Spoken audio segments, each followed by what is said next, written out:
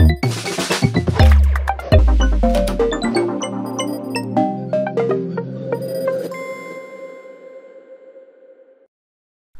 everyone to Defender for Cloud in the Field.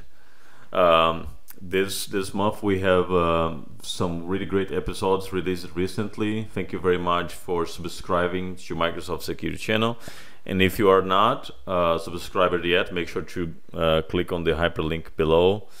Actually, the AKA link below. Uh, that is the um, link for our playlist under the Microsoft Security Channel. Well, today we are going to talk about something that is much bigger than Defender for Cloud because it's a problem space that we are doing some research and, and recently we released a really good research paper on that. Uh, it really helps us to create this vision of where we want to go when it comes to threat detections for DevOps. And to talk about uh, this research, no one better than the the author of this paper and the, the main research, security researcher for this uh, problem domain, Ariel Brukman. Ariel, thank you very much for being on. Thank you for having me here, Yuri. Ariel, before uh, we start with the questions, um, let's go ahead and, and, and give us a brief intro about what you do for Microsoft. So I'm a researcher for MDC, for uh, Microsoft Defender for Cloud currently I'm working on the Defender that we have for DevOps uh, in risk analysis and trying to uh, develop uh, new and better detections for our clients, which use uh, ADO and GitHub. And awesome. awesome. So, Ariel, first of all, congratulations on the publication of the DevOps uh, threat matrix. Um, it's an excellent document. Again, I'm going to put the AK link for the document so you, you maybe want to uh, watch this episode while you browse through the document to understand what we are talking about. Um, but it's a great document, so congratulations. Uh, and, and one of the much. things, absolutely, my friend. And one of the things that um, you wrote on the document is uh, our goal developing the threat matrix for DevOps to build a comprehensive, knowledgeable uh, knowledge base that defenders can use to keep track of build defenses against relevant attack techniques. So that's a very ple- uh, very clear goal. But what was uh, the thought process going through this research to create the threat matrix and uh, what were some of your findings?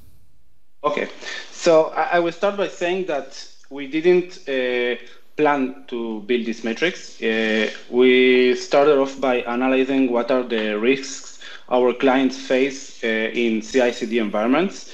Uh, what are the attack vectors that attackers may use, uh, and what is the impact that they may do once they have compromised uh, such an environment in our process of learning what are the risks and uh, what are the possibilities for attackers, uh, we find ourselves uh, going over all the attacks, uh, even white papers, uh, and of course, real life uh, attack scenarios, analyzing them.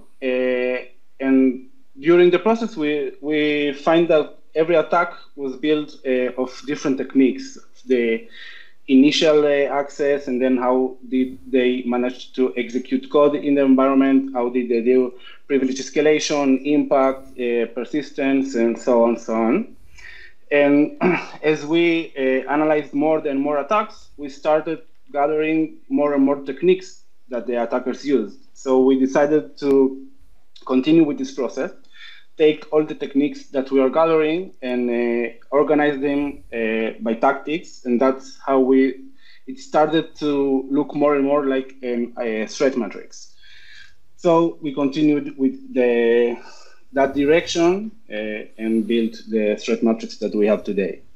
Uh, but it didn't start as a plan to build a, the threat matrix, but it it was built during the process.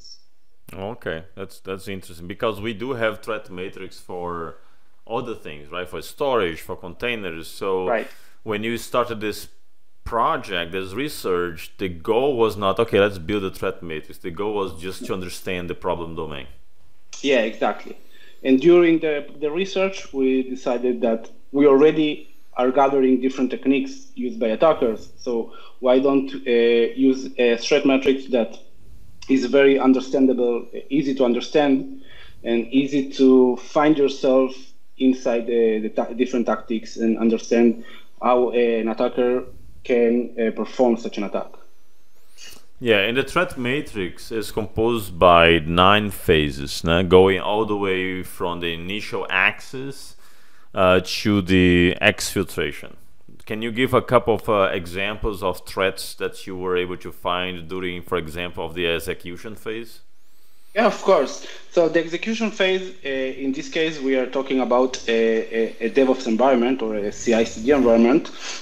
So execution means an attacker is able to run code in either of the resources that are used in the in the pipeline. It may be the pipeline itself, the runners as we call them, but it it's also maybe some uh, resource that is used as a deployment resource or a sorry or self or even self-hosted environments. So we have a variety of resources that uh, an attacker may run code inside. So if we look at one of the examples uh, of a technique uh, in execution, it's uh, poison pipeline execution, Uh, or PPE, as uh, we, we call it. It means that an attacker is able to introduce a change in a repository by, for example, uh, submitting a PR or a commit. and that change triggers a, a, a build, triggers a, a workflow in GitHub or a pipeline execution in ADO. And the change itself contains some changes to the, to the build execution. For example, if we talk about a C project, then an attacker is able to change the makefile uh, using a PR. And that makefile will be used inside the pipeline in order to build the code, right? So mm-hmm. it can add, it can add a, a new phase to the makefile that just goes to some storage, downloads the scripts, and executes it. And once it submits a PR, the, the pipeline will take the makefile and execute it. And then inside the pipeline, inside the runner, uh, it may be self-hosted runner or uh, Azure hosted, but it will still uh, run the makefile and go fetch the script that the attacker wants and execute it inside that environment. That's and, one and example. We, and within within poison pipeline execution PPE, there are multiple sub techniques, right? Because you just mentioned uh, the, the attacker can go directly and modify the configuration file, but sometimes the attacker may not be able to change directly, so it will change indirectly. Mm, yeah, right. And of course, we, are, we also have the possibility that uh, an attacker will do that in a public repository, which is called the public PPE, because he can submit PRs in a public repository. And he also may do that in a private repository, given that he already has a compromised token, for example, a PAT token uh, or any other uh, authentication mean. Okay, yeah, that's uh, that's very interesting for sure. We can when also. You were re- when you were researching about this, did you find a lot of evidences that this is a very common attack? Yeah, we found several attacks that uh, use this technique. Uh, one of the phases that I, I believe is uh, very unique uh, when compared to all the threat matrix that uh, we published in the past is the privilege escalation because with DevOps uh, is about the environment and not really the, the user. So can you give some examples of this uh, uh phase? Yes, yeah, of course. I, I will say that uh, many of the tactics that are uh, in these metrics are slightly different than the, than the same tactic name used in other matrices. For example, if we if we talk about the Linux matrix, then execution in a Linux matrix means running code inside a, a VM or, or a machine that runs or even the, or even the container, right? If The container threat matrix is, is also the same. Yes, exactly. And in this case, it's a totally different environment, and therefore some tactics are very different than uh, what they are in other uh, matrices. So if you're talking about privilege escalation, then uh, an attacker, for example, is already uh, managed to PPE, to run code inside the container, inside the environment, inside the pipeline. So now he wants to uh, to evaluate his privileges. So he has several options. For example, one of the options he may use, if we are talking about ADO, then he might use the WireServer or the IMDS, the Instance Metadata Service, in order to get certificates or identities that he should he shouldn't be access uh, he shouldn't have access to, and then use these identities or certificates in order to elevate its privileges. He also may use, for example, uh, secrets that are stored inside ADO. Uh, for example, if we have a pipeline that builds some tool and then wants to deploy it, then the uh, credentials for the deployment may be stored as secret inside the pipeline. So if you already uh, has a code execution inside the pipeline, you may uh, be able to access these secrets and of course get a privilege escalation that way. Wow, it's uh, it's definitely not the same uh, rationale and, and, approach as a regular privilege escalation, even when we talk about containers or other threat matrix. Um, right. And uh, when you reach that point on the research and say, hey, this actually fits into a privilege escalation category, right? How how did you map uh, the the end-to-end attack in such a way that you're like, okay, this is part of the initial access, this is part of the you know execution, persistence, and all that. Um, did you start with one end-to-end attack, or things were just evolve evolving as you were researching? So I will say that not all the attacks are born the same and they don't look the same. For example, you may have an attack that doesn't use privilege escalation. And after he is running code inside the pipeline, it's enough and they may run some crypto, uh, cryptocurrency mining software and that's it. Another attack uh, is not aimed to run a crypto, uh, crypto mining, so he wants to uh, elevate his privileges. And other attack, he may uh, want to, to go to another tenant once he's already inside. So every attack looks different, and it's hard to give a single flow to all of them.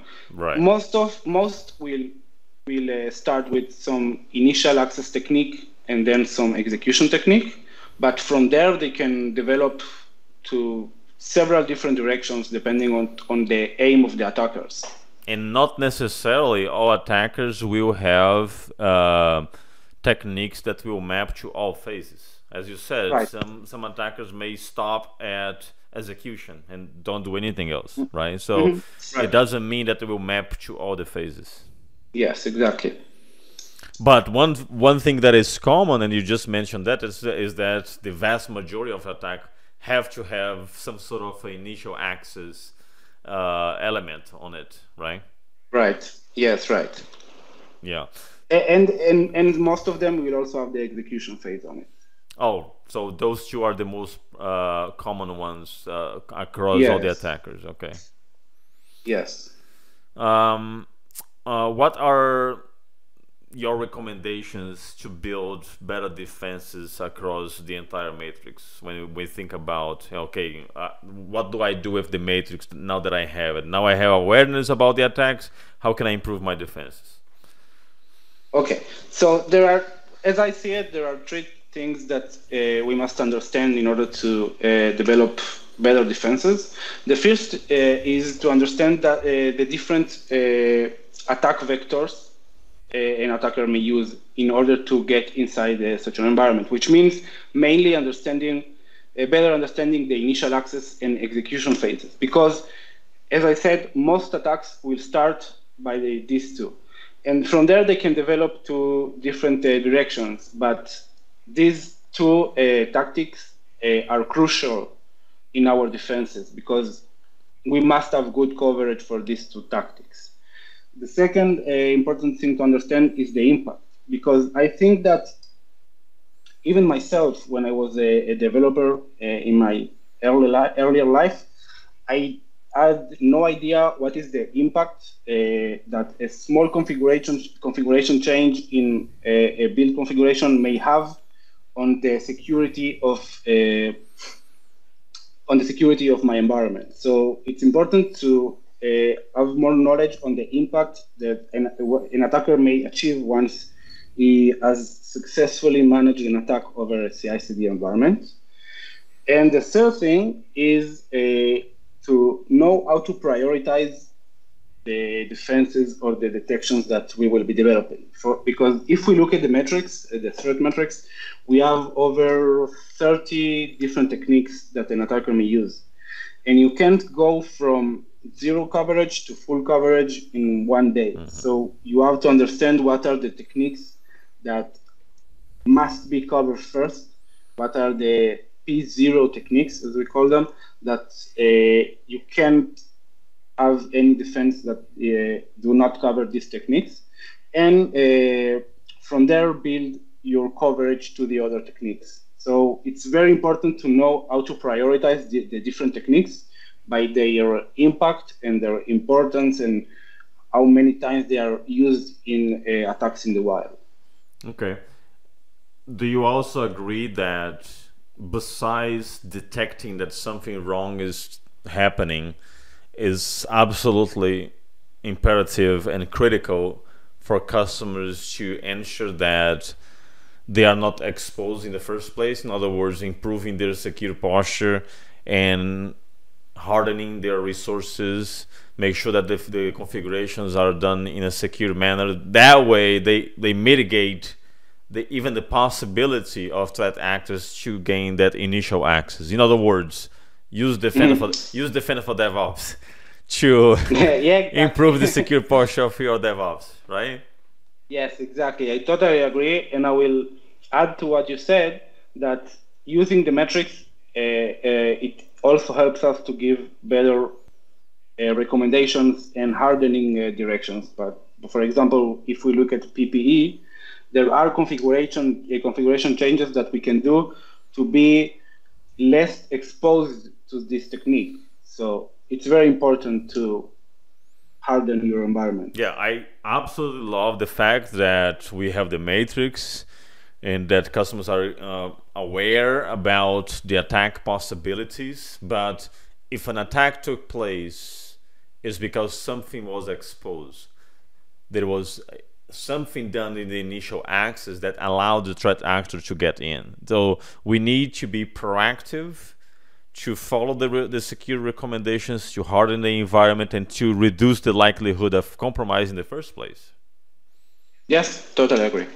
So don't use the threat matrix only as a reactive measure. That's the point, no, right? You have to use the threat matrix also to understand, okay, what can I mitigate in those areas to even avoid that thing to happen.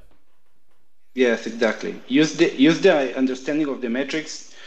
Uh, so once you understand what an attacker can do, uh, you can understand how to prevent it in the first place. Exactly. So that's that's very important because I've seen uh, some customers that they use this only as a reactive measure to create playbooks to re- to react, and it's fine. That's okay but you should also use to improve your secure posture. Yeah, agree. Totally agree. Ariel, thank you very, very much. It was a great discussion. Time went by really fast. It's almost 20 minutes that we are talking, and usually the episode is 20 minutes. So this was a great conversation. Congratulations again uh, on this amazing work. Uh, it's, it's very good. Uh, not only uh, for Microsoft customer, but for the secure community in general. So thank you very much for that. Thank you, Yuri. Thank you for having me. Uh, and great channel. Absolutely, my friend. All right, everyone, that's a wrap for today's episode. Uh, thanks again for your audience. Again, make sure to subscribe to Microsoft Secure channel, aka link below. Click on the bell to receive notifications and stay tuned. We have much more to come. See you next time.